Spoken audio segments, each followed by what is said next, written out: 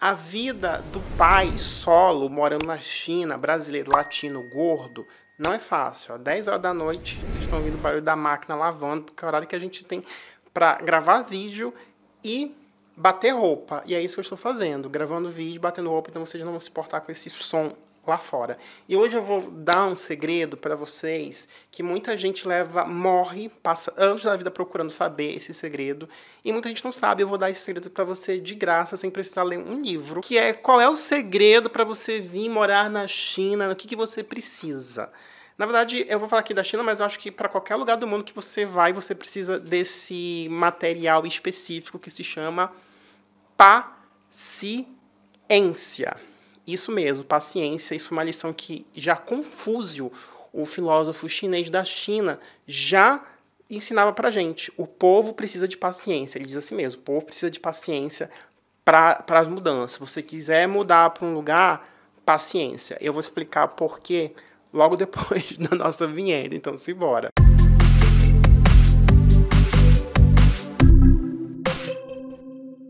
Sejam muito bem-vindos, meu povo. Meu nome é João Flori, também conhecido como o embaixador da China e também como o brasileiro que mais filosofa aqui na Ásia, do outro lado do mundo. Sejam muito bem-vindos aqui ao meu canal. Se é a sua primeira vez, já deixa o seu like, seu comentário e bora discutir, filosofar sobre o que é necessário para vir morar aqui na China. Vou contar para vocês que o povo sai do, da sua casa já sem paciência, já sai irritado, estressado. A pessoa acha que ela tem paciência, mas quando você vai morar no exterior, em outro lugar do mundo, você precisa desse componente fundamental que é muito raro hoje em dia. Porque as pessoas elas saem de casa achando que a, a, o, mundo é uma extensão da casa delas ou deles, sabe? Não é assim. Eu, por exemplo, não tinha essa essa consciência que eu tenho hoje, né? Hoje eu tenho mais de 30 anos e eu também não sabia das coisas que eu, que eu ia passar, que eu ia enfrentar. E paciência é uma coisa que realmente se encaixa e vai te ajudar na tua jornada é, fora do Brasil e é imprescindível você ter. Vou dar um exemplo para vocês que, por exemplo, esse ano eu comecei a pagar o meu imposto individual, né? Aqui a gente paga o imposto por estar trabalhando, né? Tudo que eu, tudo que eu, os meus ganhos todos eles têm uma dedução de imposto e também tem esse imposto aí individual. Eu não vou saber explicar muito bem essa coisa de carga tributária, porque para mim, confesso para vocês, é uma coisa complexa e essa também é uma maravilha, é uma das coisas que você vai aprendendo com o tempo que todo dia você vai descobrir uma coisa, né? Não é porque eu moro aqui na China há mais de 10 anos, há 11 anos, que eu sei tudo, né? Eu sei um pouquinho que eu moro aqui, né? Mas tem, todo dia eu tô descobrindo coisas novas e eu tô dividindo aqui com vocês, todo dia é uma lição diferente. Eu tava no início do mês passado, que foi abril, né? Antes de maio, abril, é. Eu tava com meu amigo Renan. Renan, dá um like nesse vídeo que eu sei que você vai, que vai assistir. É, eu estava conversando com ele e ele estava me explicando, falando sobre declaração individual de imposto. E eu nunca tinha feito isso na vida aqui na China, que eu já moro aqui há tanto tempo, eu nunca tinha feito. Meu Deus, comecei a balançar nas pernas, porque isso é uma coisa complicada, né? Você que é adulto, você me entende, né? Que é uma coisa que é um hábito. Eu sempre tive medo de declarar. Medo não, assim, preguiça, né? Não sei se eu posso falar preguiça ou medo de declarar imposto, que é uma coisa assim, burocrática e tal. Eu falei, meu Jesus amado, Deus, isso do mundo, vai ser complicado declarar isso, né? Declarar esse negócio de imposto individual. Acho que esse é o nome, imposto individual. Que tem o imposto que a gente paga no trabalho, que isso a empresa já faz, e tem esse individual que eu não sei muito bem quais são as regras. Enfim, comecei a fazer esse ano. Aí eu, o Renan estava me explicando que foi super fácil. Era, era só o RH da empresa ir lá no, no escritório do governo de taxa, né, de taxação, é que eles vão me dar uma senha, porque como eu sou estrangeiro, eu não posso baixar o aplicativo, ir lá, criar uma conta, fazer login e já preencher, porque o chinês faz isso, é muito mais, mais simples, né? Para estrangeiro não, porque aqui na China, o sistema quase todo, ele só deixa você usar o RG. Então, se você não tem RG, você, no caso, no meu caso, passaporte, então você vai ter aí um retrabalho um pouquinho mais burocrático, mas vai rolar, vai acontecer, é só você vai ter só um pouquinho mais de trabalhinho, tá entendendo? Não precisa ficar com medo. A Renan falou que foi super fácil para ele e eu tenho uma filosofia de vida que é o seguinte, que quando uma coisa é muito fácil, que tá errado. Vai dar merda, porque não, não pode ser tão fácil assim. Meus 11 anos de experiência mostra que Confuso já tinha me falado que se o negócio parece fácil, é porque vai dar merda. Tá lá no livro do Confuso. Aí eu fiquei super. Eu falei com a RH, né? Que, tipo assim, tem outro problema também, que na minha empresa não tem muito estrangeiro, né? Atualmente tem eu e mais dois estrangeiros, são estrangeiros asiáticos aqui. Eu acho que uma é do Laos e o outro é do, da, de Mianmar, eu acho. Enfim, dois estrangeiros asiáticos e eu. E eles também nunca tinham feito isso, porque o RH, eu falei com o RH, eu falei assim, ah, eu preciso fazer isso, quero fazer isso, né? Nem todo mundo faz isso aqui na China, é bom os chineses fazerem, porque eles recebem um dinheirinho de volta, né, do governo, né, de que eles pagaram imposto e tal. Nesse imposto individual, você pode declarar várias coisas. Você pode declarar a casa que você aluga, que é o que eu estou fazendo, né? A casa que eu alugo. Você pode declarar educação, que você paga é, escola para os filhos é, se você ajuda idoso, várias coisinhas você pode colocar ali que eles aceitam para você ter esse dinheiro de volta. No meu caso, a única a único que se encaixa é o aluguel da casa, né? Porque eu não tenho filho aqui e eu também não ajudo nenhum idoso. Aí eu mandei é, mensagem para RH, o pessoal do RH. Eu gosto muito dessa empresa de trabalho porque o pessoal é muito solícito, sabe? É, em relação a ajudar, eles ajudam mesmo, né? Mandei mensagem para moça da RH, ela fala: ah, ok, eu vou resolver para você, a gente precisa ir lá. Ela me descreveu basicamente o que o Renan tinha me falado, que tinha que ir lá no escritório, pegar uma senha, criar essa senha, criar esse cadastro. E eu ia só pegar esse cadastro que eles iam criar, colocar lá os meus dados e ia fazer super simples. Eu falei, gente, eu não tô acreditando que é assim tão fácil. Não tô acreditando. Aí foi, ela passou, tipo assim, umas duas semanas para ir. E eu tava assim com medo, porque essa declaração de imposto é de 2022, ano passado.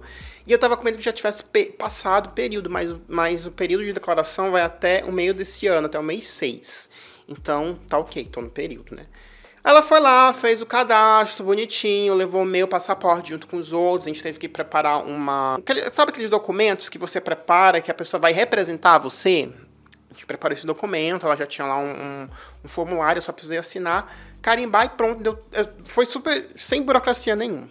Ela foi lá no escritório, passou uma tarde inteira tomando esse chá de, de, de, cadeira, né? É um chá mais famoso aqui da China. E tem uma outra coisa, lá onde vai, onde você pega, faz esse processo todo, eu já fui lá porque eu precisava pegar os documentos para comprovação de banco, de finanças, enfim. E nesse prédio, gente, eu não sei se está assim até hoje, mas há uns dois anos, quando a última vez que eu fui lá, era um pouco complicado para quem era estrangeiro, porque a gente não tinha como pegar uma senha para ser atendido, para ficar esperando, porque para você digitar lá a senha, pasmem, você precisava informar o número do seu RG. E eu não tenho RG, eu tenho um passaporte, né? Então, eu foi bom porque eu não precisava ficar na fila, eu passava na frente de todo mundo, mas eu não tinha culpa. Eu chegava lá normal para ser atendido, mas não tinha culpa. Então, eu acabava passando na frente de todo mundo e ficava lá com prioridade, porque eu não ia ter, não ia poder pegar, imprimir uma senha para ficar na fila.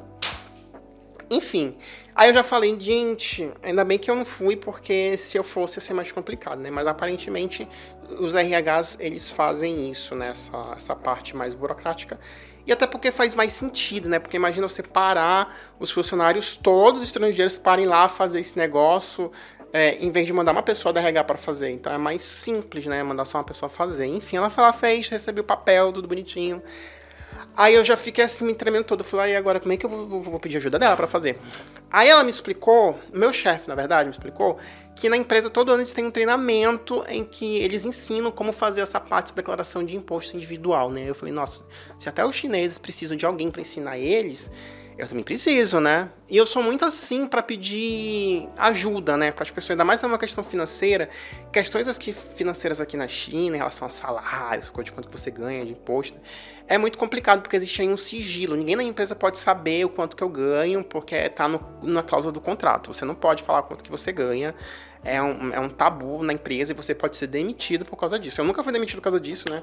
Que eu, pelo menos essa parte eu respeitei, né? Eu nunca vou ficar falando de quanto que eu ganho. Mas antes da gente continuar o vídeo, vamos para um recadinho de um produto, uma dica de um produto que eu recebi, eu quero mostrar aqui para vocês. Se você está procurando uma solução de áudio para você que faz vlog pelo celular ou usando uma Action Cam, deixa eu mostrar para vocês a boia BIY20. Esse pacote ele é uma solução muito prática e econômica para quem busca uma solução de áudio, porque são dois microfones e um receptor que você coloca ele ou no seu celular, que pode ser tanto é, Android quanto é, iPhone, ou também na sua Action Cam.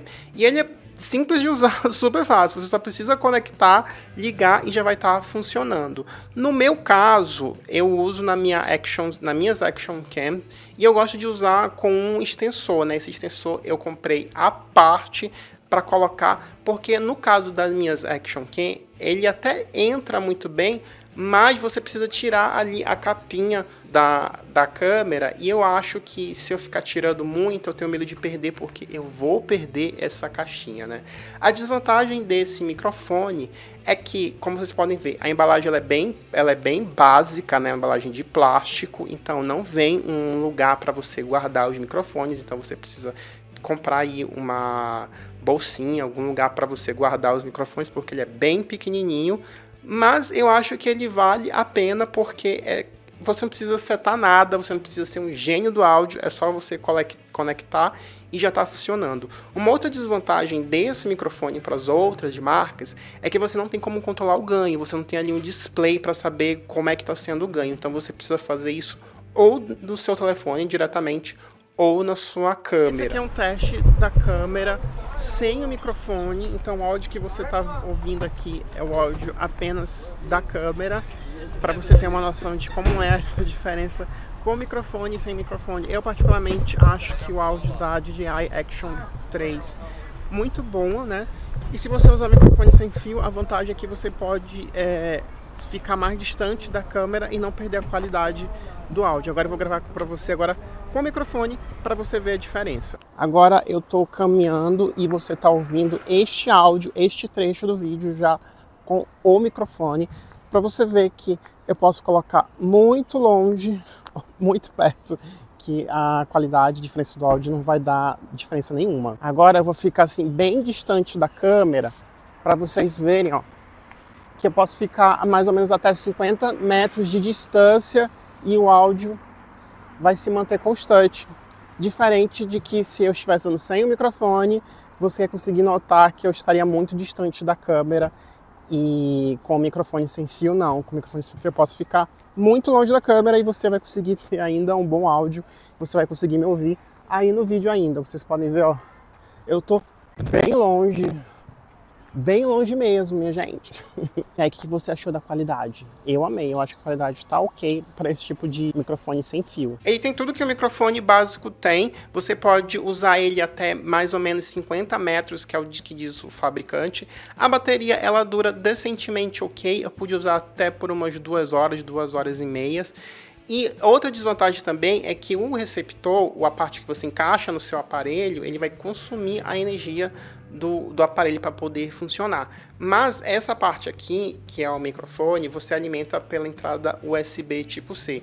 E ele é um microfone super básico que funciona, inclusive ele tem até redutor de ruído. Você aperta o botão, ele reduz o ruído, então ele coloca ali uma outra frequência que corta as frequências é, mais fracas, né, menores. Então aquelas, aqueles ruídos que fica de fundo, é, que, que são ruídos mais mais baixos, ele acaba cortando, suprimindo. E tem uma outra função também de mudo, que você aperta e muda o seu. fica sem som o vídeo. E uma outra função que eu achei bem interessante nesse microfone é a possibilidade de você colocar ele em diferentes posições, ó. Porque essa trava aqui, ó, ela muda. Ela gira 360 graus. Então você pode colocar o microfone em qualquer ângulo direcionado para a boca da pessoa que vai falar. Eu achei ele super compacto, super simples, ele tem ali as suas desvantagens que eu já falei para vocês, mas eu acho que pelo preço que ele está disponível no mercado, vou deixar o link na descrição da página da Boia para você lá conferir, eu acho que vale super a pena porque ele realmente entrega tudo aquilo que ele promete e tem uma qualidade muito boa. Eu gostei, aprovado e recomendo. Aí eu falei com meu chefe, meu chefe sabe o quanto que eu ganho, e a minha chefe da RH, que é uma pessoa maravilhosa, lésbica também maravilhosa, poderosíssima. Super gente fina. E eu não sei porque eu falei que é lésbica. Ela é lésbica, adoro. eu acho que por isso que a gente se entende, né? Aí ela me ajudou, né? Ela falou, não, vem que eu te ajudo, sei o que. Ela começou a mexer lá E ela não conseguia mexer, eu não sei o que estava lá, porque eu já achei complicado, porque aqui na China, esses sistemas financeiros, tudo eles colocam um código. Eles abrem ali uma, uma janela pop-up, aquelas janelinhas com várias opções. Aí tem vários códigos ali, cada código é uma coisa que você precisa declarar. Aí eu achei complicado, complexo, e estava lá tudo em mandarim. Então, até para quem é, é, fluente, é nativa, que tem essa dificuldade de entender, precisa desse treinamento e tal para fazer. Mas quando você faz sempre, você acaba fazendo isso super rápido, porque é uma questão de prática. Ela não conseguia fazer de, de jeito nenhum, ela teve que ligar lá pro negócio de imposto. Aí o negócio de imposto falou que ela precisava voltar lá, porque eles precisavam ver os meus dados de novo. Aí eu falei, por isso que eu falei, já não é tão simples assim. Aí eu falei, Renan, não é tão simples assim para mim, não sei porquê. Aí ela voltou lá e descobriu que precisava, que eu precisava dar para ela, levar lá para o negócio de imposto, todos os passaportes que eu já usei na vida aqui na China. Aí eu falei, gente, mas para que eu vou precisar mostrar todos os passaportes se todos os meus dados do visto atual, do contrato de trabalho, tá tudo nesse passaporte novo, e passaporte novo eu já uso, não é novo, né? Eu já uso já pelo menos uns quatro anos. Então, tipo assim, o passaporte antigo, né? A minha sorte é que eu tenho guardadinho. É, Confuso já falava isso, guarde seu passaporte, não jogue fora. E eu obedeci Confuso, guardei os meus passaportes, guardadinho, né? Então, tudo aí, né? Aí, ou seja, levou um chá de cadeira, perdeu mais uma semana, porque ela sempre agendava um dia, na quarta ou sexta-feira, pra ir, voltou, né? Pegou o passaporte. Eu falei, mulher, mulher do céu, eu falei assim mesmo, falei, mulher, que chá de cadeira, me perdoa, me desculpa que eu fiquei sem jeito, né? Que ela tá fazendo um favor para mim, que você, ficar ali perder sua tarde inteira com uma coisa que eles poderiam ter falado antes que precisava levar o meu, meu passaporte, né? Ela também ficou muito puta da vida por ele, no caso, ela ficou, não, se preocupe, vou te ajudar e tal. Entreguei para ela o passaporte, isso no, no dia seguinte, né? Aí ela falou, próxima semana eu vou lá. E nisso já se passaram três semanas, né? Isso resumindo bastante, né? Aí quando ela voltou lá com os passaportes e tudo, gente, adivinha qual era o novo problema? O meu nome no sistema tem, consta lá três nomes. Aí ninguém sabe por que, que tem três nomes meus. É todos os meus nomes escritos de forma diferente lá. O único que estava certo é um que estava sem espaço nenhum. E o número precisa coincidir com o número do banco, que está lá escrito no banco e não, coincide. Não está tudo separado no banco e lá no cadastro do sistema está tudo sem espaço. Tá como se fosse um nome só, parecia um nome russo, assim, enorme, gigantesco, nome alemão. Aí eu falei, gente, agora? E eu não posso, eles não podem mudar. Aí, Atena, Aí ela, ela falou para mim, então, vamos tentar cadastrar o teu imposto agora. Aí a gente cadastrou o imposto, peguei o contrato né, da, da casa, ela fez para mim, aí deu o seguinte problema, que o meu nome do banco não dá match, não coincide com o nome que está cadastrado lá no governo. Como é que eu faço para resolver isso? Com paciência. Eu esperei fundo, né? Aí eu falei o seguinte, então eu falei o seguinte, eu vou no banco, eu acho que vai ser mais fácil, não resolver essa história ainda. Já tô um mês tentando resolver isso. Tenho um dinheirinho para receber, eu já vi o dinheiro que eu fiquei. Gostei desse dinheiro. Aí eu tenho que ir lá no banco. Primeira alternativa, né, que eu pensei. Então vou lá no banco e vou pedir, explicar a situação pro gerente do banco, para ele mudar o meu nome e colocar meu nome tudo junto sem espaçamento nenhum. Aí entra no sistema eu consigo receber. Se ele não conseguir mudar, o banco falar que não pode, que eu acho um pouco difícil o banco não poder, mas já estou preparado para não, que o não a gente já tem, né? Se não tiver, eu vou ter que ir lá no prédio do governo junto com a mulher da RH e a gente vai ter que explicar a situação que lá no governo está escrito errado e eles vão ter que dar jeito deles de mudarem, né? E ela falou que eles podem fazer isso, só que é uma passação de. Passação não, né? Tipo, é uma injeção de saco e mais um. Mais uma, um chá de cadeira que a gente vai levar a tarde inteira só para resolver isso, né? Então, por isso que eu falo, paciência. É um exemplo assim, bem tosquinho, para você ver o quanto a gente precisa ficar respirando forte. Um outro exemplo que eu posso dar para vocês, teve um rapaz, eu, é, é, nessa casa aqui que eu moro, é, um, é, uma, é uma empresa que aluga, né? Eu gosto que é uma empresa super conceituada e tal. E eu estou no grupo dessa empresa, então tem vários inquilinos ali, gente. É cada, é cada história daquele grupo de inquilinos que eu vou trazer uma para vocês é a história de um rapaz. É muita gente sem noção, gente.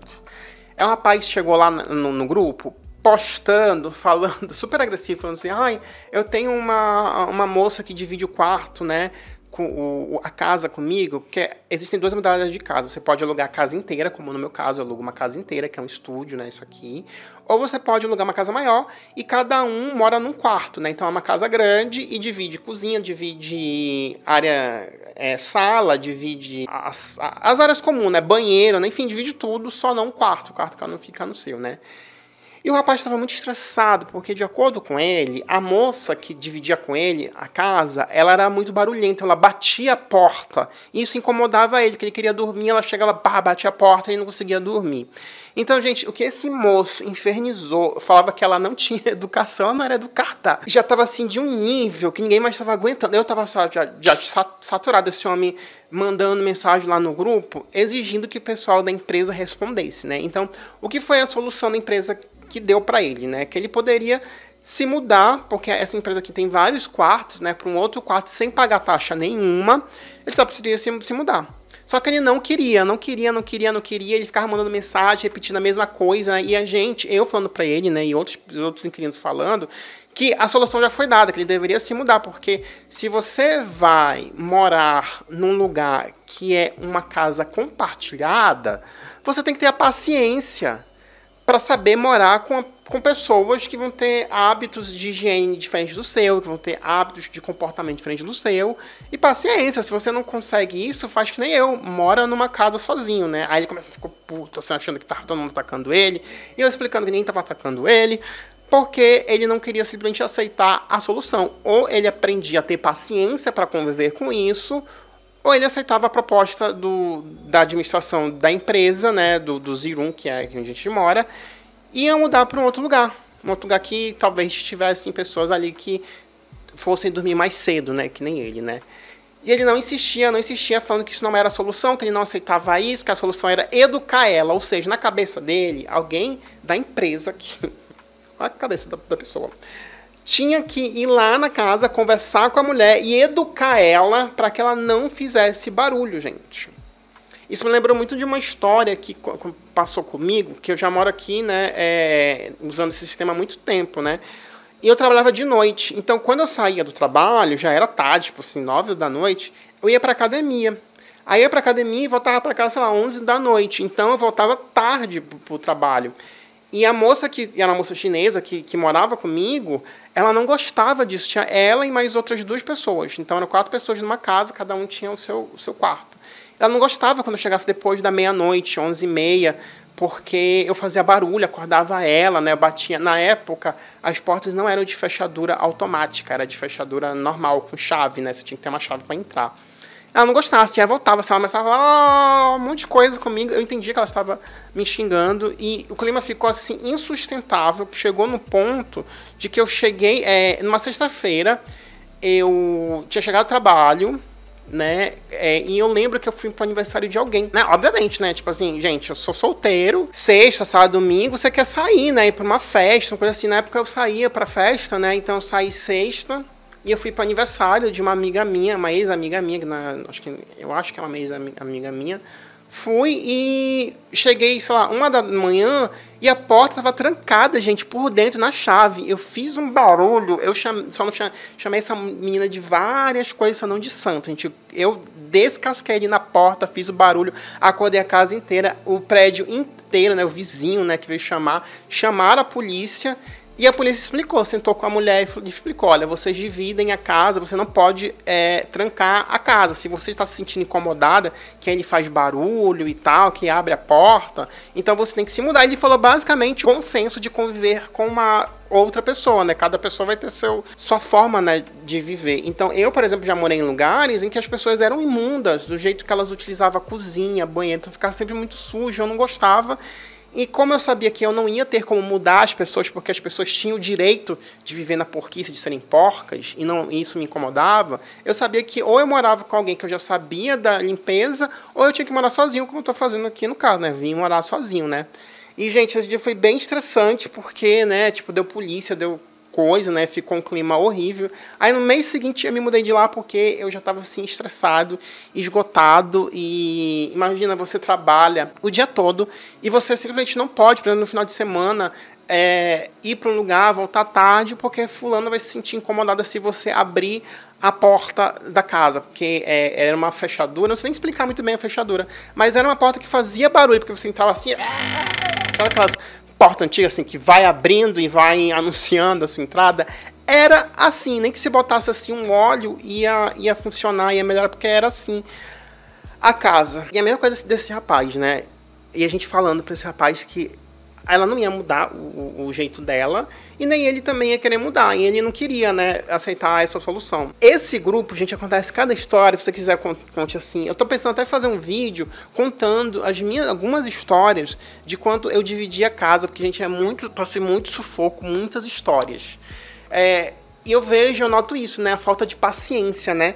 Até uns meses atrás, teve um estrangeiro que acabou virando notícia aqui na China, porque ele simplesmente ele despirocou, literalmente despirocou, ficou sem a piroca, porque aqui na China, o pessoal que tem moto, eles passam pela calçada, passam mesmo, atropelam a pessoa e buzina para você sair da frente da calçada. Por mais que aqui, aqui, por exemplo, aqui em Beijing, ou em algumas cidades, eles têm uma faixa exclusiva para bicicleta e motocicleta. Eles não usam essa faixa, eles querem passar pelo, pelo, pela calçada. E é um inferno isso. E alguns estrangeiros não aceitam isso. Alguns estrangeiros perdem a paciência. Aí esse homem viralizou aqui na China porque ele começou a gritar com o motoboy. E ele começou a gritar em inglês, né? Que obviamente, né? Um homem branco que fala inglês, né? Gritando ali, gente, achei ridículo. E a pessoa falando assim no grupo: Esse homem chegou hoje na China, que ele não tem paciência nenhuma. E é isso, gente. Eu acho que para você morar, né, você para não só para a China, como eu falei, mas para qualquer país do mundo, eu acho que você precisa de paciência. Você não pode enfiar sua paciência lá no cu e esquecer dela, gente, porque você vai passar por situações que você vai precisar o quê? Dar uma respirada, reza ali um mantra, faz uma yoga, respira bastante e vive a situação e lembra que aquele problema ali que você está passando é uma coisa temporária. Né? Põe isso na sua cabeça, é uma coisa temporária, e que você precisa achar uma solução para isso. Então, se você está com a cabeça quente, des, é, esfria a cabeça, desesquenteia a cabeça, deixa a cabeça bem zen, bem, né? Vai cantar, contar carneirinho, vai fazer alguma coisa para tirar essa tensão da cabeça, dá meia volta, vai andar um pouquinho, respira, volta com a cabeça mais tranquila. E se precisar você mudar de um lugar, se muda né, toma uma atitude que seja você. Porque você não pode esperar que as pessoas mudem, que as pessoas acham que nem você espera, sabe? Que nem aqui. Tem muitas coisas que acontecem aqui por parte do governo, por parte lá da empresa, que não é como eu faria. E eu só respiro eu aceito eu, eu, eu, respiro bem fundo, eu acabo aceitando, porque não tem como a gente mudar né, em relação a isso, igual como eu falei para vocês, quando mudaram a relação dos dias de que a gente pode ficar em casa por conta de doença, né? Mudaram assim, eu só aceitei, respirei fundo, eu falei, o quê? Ok, vou aceitar. Aceitei né? Tô rindo agora, mas tô rindo de nervoso. Então a gente precisa ter essa, essa lição todos os dias de muita paciência. Se você for esbravejar, abre a janela e grita assim. Ah! Às vezes eu grito assim, abre a janela assim. Ah! Aí eu tô melhor. Respira assim, ah, gritei, joguei toda essa tensão para fora. Respira, tô melhor agora. Aí eu vou fazer minhas coisas e vou sorrindo. e assim eu vou vivendo a vida, gente. Porque assim, a gente tem que viver assim, porque assim, o cabelo eu já não tenho mais. Vou perder mais o quê? Dinheiro também eu não tenho, né? Então, cabelo já perdi, dinheiro já perdi, então eu não posso mais perder a paciência. Tenho que cultivar um pouquinho do que eu tenho, porque se eu perder a paciência, minha gente, não sei o que eu vou fazer na minha vida. Essa lição de hoje, tá bom? Eu queria agradecer a todo mundo que é membro aqui do canal, olha aqui os membros aqui do canal que fazem esse canal acontecer. E se você não pode virar membro, então deixa seu comentário, deixa o like, compartilha para esse vídeo chegar a novas pessoas, tá bom? Eu vejo vocês no próximo vídeo. Um beijo e até a próxima.